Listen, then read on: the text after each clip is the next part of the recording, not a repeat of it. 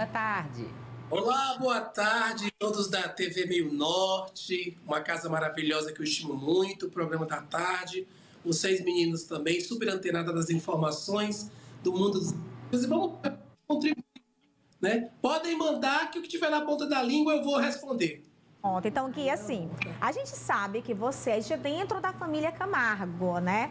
A gente tem um momentinho para mostrar, enquanto a gente vai conversando, vai aparecendo aqui as imagens para a gente comentando, tá? A gente viu o momento em que a Vanessa deixa a casa, é levada ali com seguranças, né, toda coberta e tudo, para passar meio que despercebida pelo público.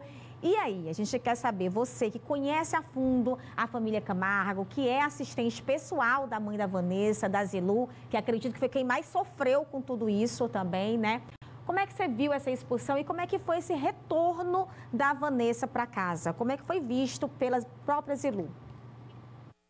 Vamos lá. Primeiro vamos pela saída, né? Esse jato na qual conduziu Vanessa do Rio de Janeiro a São Paulo foi fretado pela própria Rede Globo, tá? Então não é um, um, um jatinho da família ou coisa parecida como colocaram, tá? Isso é um jatinho que foi disponibilizado emissor, pela emissora para o retorno da artista à sua sede, onde ela mora, que é em São Paulo. Quem recebeu a Vanessa no aeroporto foi a mãe. A, a Zirula ficou sabendo por volta das 14 horas do processo de eliminação, né, por conta da agressão na qual o participante Davi foi reclamar no confessionário. De lá, Zilu é, seguiu para o aeroporto para esperar a filha. Sobre essa questão da família ter acesso ou dar opinião sobre a condição do programa, não é muito verídico isso não. Eu acompanhei de perto, o asilo não tem nem muito acesso a eles, é uma pessoa só do artista ou da artista que está ligado à condução do programa, né, que é um DM e fica lá no Rio, e a família, igual como nós, que torcendo aqui. Esse regresso realmente ele não era esperado para essa data. Mas quando você faz uma leitura ótica de um jogo, na qual a artista, a cantora, né, filha do Zezé, filha da Zilo, não estava tendo condução tão, é, vamos sofrer, plausível pelo público, eu acho que essa expulsão foi uma das rotas mais assertivas para Vanessa não sair, às vezes, tão fora do aplauso que ela já é acostumada a ter pelos palcos, Suiane. A família recebeu muito apreensiva, né? Voltando ao que vocês falaram, o Dado ainda não teve contato com a cantora, que eu acho que vocês iam perguntar isso, né? Ela tá, a cantora está em processo, assim, eu acho que de, como é que eu falo, de constituir com o mundo, né? São 50 dias confinado, fora de órbita. Eu falo que os filhos matavam mais a saudade porque via a mãe, né? Mas a mãe não via nada. E a Vanessa não teve acesso a anjo e nem acesso a líder durante os 50 dias confinado. Então, ela foi uma das que menos tiveram contato com o mundo exterior.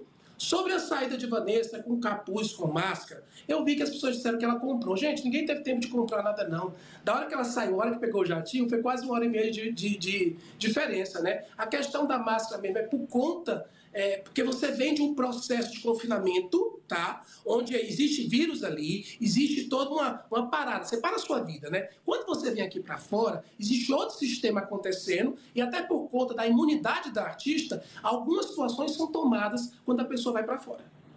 É isso, viu, Gui? É, inclusive, a gente sabe, né, que hoje em dia a Rede Globo tem uma preocupação maior com quem é do camarote, depois do que aconteceu ali com a Carol Conká. A Globo tem uma preocupação com a imagem do artista, se sente responsabilizada, por isso mesmo que a gente trouxe à tona esse assunto, de que a emissora teria achado por bem também, né, aproveitar esse ensejo da expulsão, retirando a Vanessa do programa, para que, digamos, se ela ficasse um pouco mais, não caísse aí no cancelamento, no maior cancelamento do público. Você também acha que por aí, então, levando em consideração tudo isso, esse momento aconteceu na hora certa? Suiane, grossos modos, e a males que vem para mim, já diz a, o eterno ditado popular, é uma grande verdade a sua colocação, ela é bem assertiva. Eu não sei se a emissora teve a intenção real disso, mas hoje, vendo pelo lado da família, pelo lado de fã, de colega, eu acho que foi uma situação bem benéfica hoje, né? Porque a Vanessa, de uma semana atrás nas redes sociais, era uma. A Vanessa de hoje, ela é outra. Então, assim, se a Rede Globo teve esse critério, não foi passado ainda para nós, né? Mas o Boninho pode ter achado, né? Porque agressão, a grosso modo, a mínimo modo, não, não existiu. Porque ela nem teve toque real na pele do, do, do então participante, né? Foi até no lençol. Não foi nem toque. Então, assim, há males que vêm para bem. Mas olha, eu vou te dizer uma dica aí para você também na ponta da língua. Você quer saber, Suiane? Você quer saber, o pessoal do Piauí? Claro que a gente quer saber, manda. Ah, essa história não acabou. Tá? Essa história não acabou. E tem muita areia ainda para voar, muita pena para se soltar quando o assunto é dado Dolabella. Como agora a gente está com essa conectividade Goiás, Goiânia na ponta da língua e o programa da tarde, não corram, tá? Bateu aqui, bateu aí. Inclusive, tem uma informação que caiu na internet hoje, né, de que a Vanessa, antes de entrar no Big Brother, teria pedido um tempo para o dado diante das inúmeras brigas que os dois seriam protagonizados, inclu incluindo é, a Zilu Camargo, inclusive, né, a mãe da cantora. Essa informação, até onde ela é verdade? Ela é verdadeira, Gui? Olha, ela, ela é, verdade no princípio ativo e eu não falo muito de um término.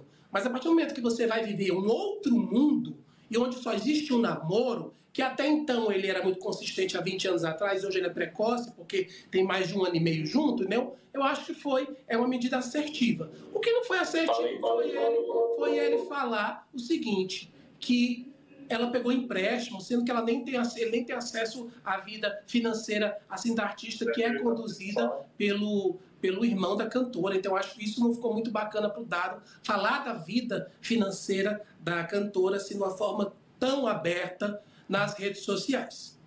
Certo, é isso mesmo. Viu? Então, nenhum contato até o momento com o então namorado, né? Realmente, a, a realmente meia é, esquiva da presença e das situações envolvendo o Dado Dolabella, até por conta das declarações dele, que não foram muito assertivas no período que a cantora estava confinada aí no reality show do Brasil. Maiara aqui, Maiara Dias Prazer. É uma dúvida, saiu também na internet, nas redes sociais, que depois da saída da Vanessa do Big Brother, a Zilu montou meio que ali uma força-tarefa, uma proteção ali é, no condomínio onde eles moram, para justamente não ter nenhum tipo de contato com o dado, era segurança e tudo mais. Essa informação procede? Ela procede ou não procede? Primeiro, o condomínio na qual a Vanessa mora, que é a casa da Zilu, que inclusive mora a Simária, da Simone Simária também, lá em Alphaville, tá todo mundo, mora todo mundo na mesma rua, ele realmente é um condomínio que conta com uma segurança muito, muito, muito forte, né? Onde existe uma revista realmente de carros, de uma forma muito maior do que os condomínios, inclusive até em porta-mala e tudo, né? Então, no preceder da história, se colocaram isso como uma coisa, uma regra só para o dado. Não, não é uma regra só para o dado, é uma regra do condomínio. Mas que a presença dele na casa ali da Zilo não está sendo benquista, isso aí a gente não pode negar.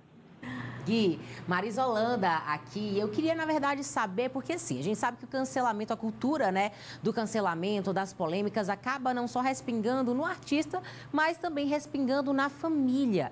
E eu queria saber como os filhos dela têm lidado com tudo isso que tem acontecido com a mãe no BBB. Sabe dizer pra gente?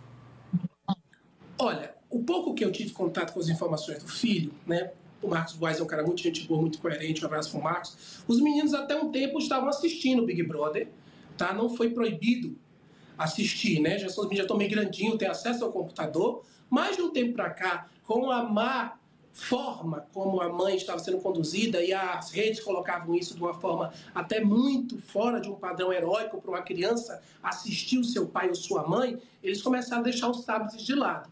Então, assim, muitas coisas do fim para a saída foram um pouco tiradas de foco, porque como uma criança não está preparada para ver tanto discurso, de ódio né, contra um ente querido, no caso uma mãe, como estava acontecendo do meio para o fim nas aparições e durante a execução do programa, na qual a cantora, a mãe né, do Marcos e do João, a filha da Zilu e do Zezé, estava durante esses 50 dias de confinamento.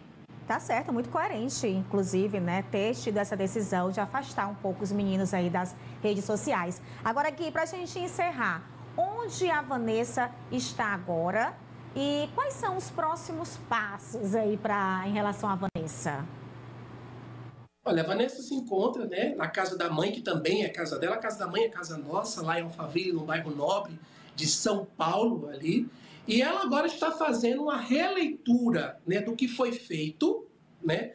A emissora também está vendo é, o que vai se fazer, porque existe uma, como é que eu falo, uma organização quando a pessoa sai, ela não pode fazer programas, né? Tem toda uma situação assim. Então está sendo feito um estudo, porque teoricamente, se ela tivesse saído um paredão, teria toda uma agenda de exibição da própria emissora. Então, como a exibição foi, a saída foi no sábado, não se sabe se vai existir uma regra, como teve a do Rodriguinho, inclusive, essas falas que vocês colocaram aí, da mãe do, do, do comentarista, do humorista contra ele, né? Que na verdade ela falou por todos nós. Então, ainda está se reajustando a agenda de imprensa sobre o caso. Mas eu acho, volto a falar, essa, essa, esse gatilho, a palavra é essa, que se encontrou, mesmo não sendo uma coisa pensada, eu acho que foi uma das melhores formas da Vanessa sair de uma forma heróica e as pessoas repensarem como é a atitude e o conduzir do outro participante durante a execução da casa. É isso, Gui. Muito obrigada, tá bom? Bem-vindos de volta ao grupo, a Rede Meio Norte de Comunicação. E aproveita, então, para dar dica, né? Para convidar a galera para assistir aí o Na Ponta da Língua.